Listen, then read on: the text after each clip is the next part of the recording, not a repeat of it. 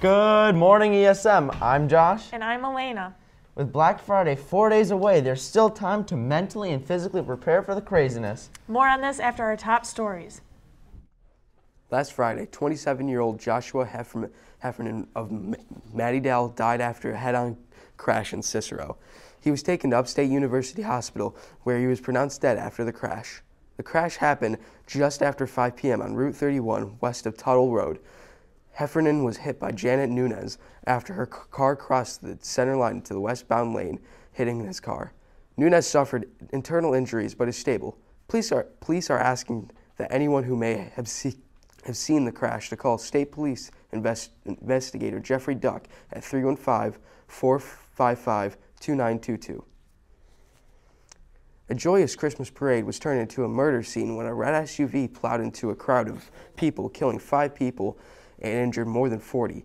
Those numbers may increase when new information comes to light. The circumstances and motivation are currently unknown. The suspect is thought to be a person of interest and was fleeing from the scene of a separate crime. Please stand for the Pledge of Allegiance.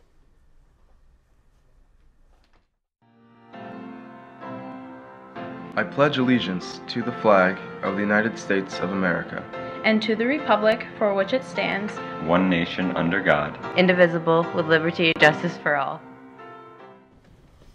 On Tuesday, November 30th, there will be a very brief but mandatory meeting for all ESM football players in grades 9 through 12. This includes seniors who will be graduating. The meeting will be held in B23. Once again, this meeting will be very brief. Please see Coach Eschbacher if you have any questions. The home boys and girls basketball games, volleyball matches, and wrestling meets start next week. The athletic department would like to take this opportunity to invite the student body and school staff to our home games and meets this winter. Any student on suspension is not allowed into any contest. Game times for each event is 5 o'clock p.m. And wrestling starts at 6 p.m. Admission is $2 for adults and $1 for students. Cooperative support from the ESM community is always very much appreciated. Remember that masks must be worn at all times during inside sporting events. Thank you for your efforts in promoting athletics at ESM. It's that time of year. The annual Cotillion Dance is coming up on December 4th. The dance is in the large gym from 7 to 10 p.m. Tickets will be sold starting today on the 22nd and then will be sold until break and the whole week after the leading up to the dance. Pre-request songs by scanning the QR code on the screen or going to TJDJ Syracuse on Instagram and clicking the link in the bio. The weight room is open this Monday and Tuesday with regular hours. It is closed during Thanksgiving break. Alrighty. A little history about Black Friday. It's believed by many that the term Black Friday diverges from the concept that business operates in financial loss or in the red until the day after Thanksgiving when a massive sales finally allow them to turn into profit or put them in the black zone. This is not the case. The term Black Friday was actually first used on September 24th in 1869 when investors Jay Gould and Jim Fisk made the price of gold rise and caused a 20% drop in the stock market. By the 50s, the term Black Friday was used in Philadelphia to refer to the day between Thanksgiving and the Army Navy game during this time. Merchants tried to change Black Friday to Big Friday and never caught on. Now we have some interviews on people who prefer in-store shopping versus online shopping for Black Friday. Online shopping because I don't have to leave my bed. Amazon, Shein, Etsy. Online shopping because I it's convenient to stay home and it's just convenient so I don't have to go anywhere. Uh, Amazon, uh, Dick's Sporting Goods, Eastbay, Fanatics. I'm highly in favor of online shopping. Um, I really like to online shop. Um, but sometimes I prefer online shopping to in-person shopping. Um, I have a problem with in-person shopping in that I tend to buy more things that I necessarily need inline shop or um, in-store shopping.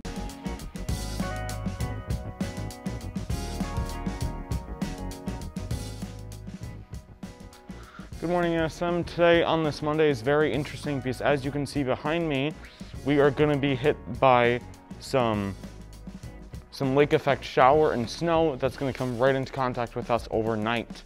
This will give us a lot of slush and snow and possibly a very low chance of a snow day on Tuesday. But now let's go on to your Monday morning weather.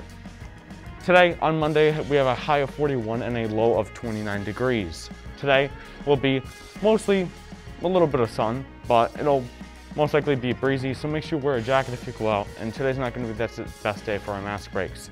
Tuesday, we'll have a high of 36 and a low of 27, and that's when, and overnight, that's when our snow will hit us. So Tuesday is going to have a bit of lingering snow and a bit more breeze. Wednesday is going to be slightly sunny with some clouds here and there, and Wednesday we'll have a high of 44 and a low of 33 degrees. And with that, I'm Grayson with your colder Monday morning forecast.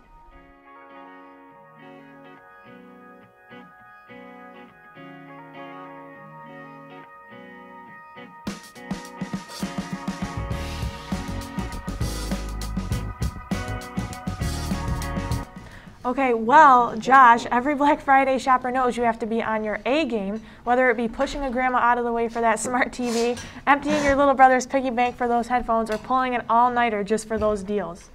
You have to make sure you're physically fit for those deals.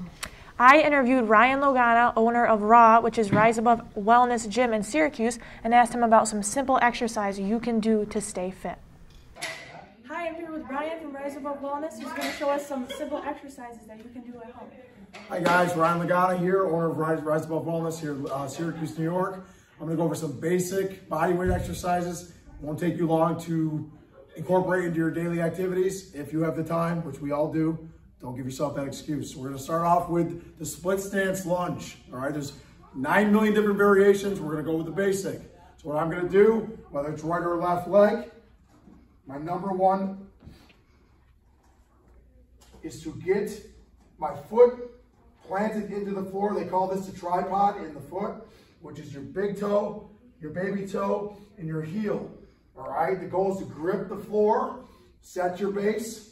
I want my abs on. I want this neutral alignment in my torso. This back leg is going to trail my front leg. So my nose and my knee are going to stay over this toe. I want a rigid position. The goal is to squat down. It's okay if the knee tracks the toe a little bit. That's not bad as long as you have the mobility to get down here. Now the goal is to either push straight up, which would be elevator, or straight back, which would be escalator. They're both great variations. The escalator takes tension off the quad. The elevator keeps tension on the quad throughout the entire movement. 8 to 12 repetitions per leg, minute break in between, three to four sets, you're golden.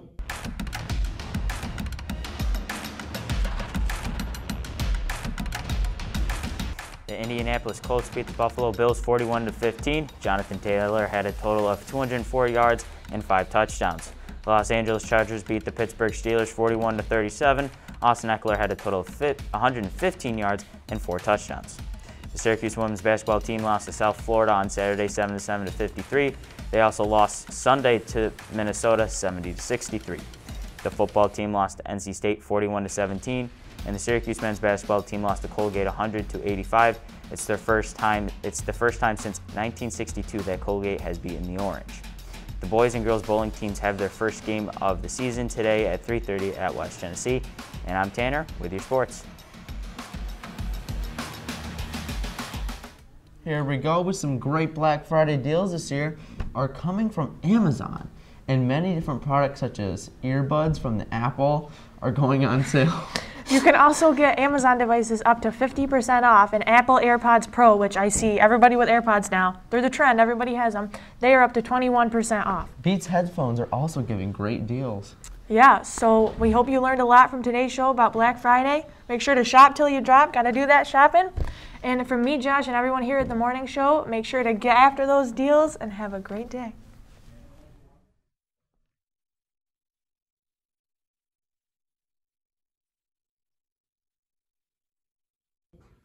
That's number one. Number two, we're going to go over the body weight push-up. A lot of individuals can't do a proper push-up because they're not taught the proper mechanics. So what I want to do, firstly, I'm going to start on my knees, all right? This is a modification. You have to master this before you can progress, all right? The goal when you do a push-up isn't to collapse into the movement, all right, while the elbows flare out. So number one is I want to plant my hands into the ground. If this air was the ground, I'm reaching into the ground and I'm externally rotating my hands into the floor hard. That's gonna open up my chest. It's gonna take pressure off my shoulder. I want my abs on. I want that neutral straight line in my back. I'm gonna rip the floor apart, air in as I come down. Rigid tension, chin stays tucked, and then I wanna press all the way up with a hard exhale. Good. Air in, air out and squeeze. Start off with one rep at a time. And you're golden.